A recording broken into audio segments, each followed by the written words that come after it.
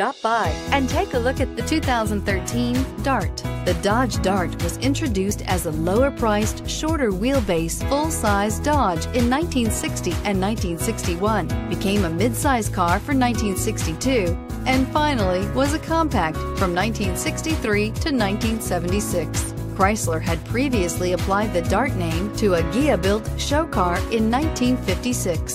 This vehicle has less than 60,000 miles. Here are some of this vehicle's great options.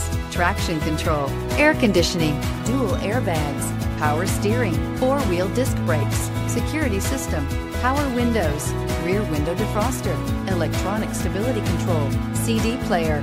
Drive away with a great deal on this vehicle. Call or stop in today.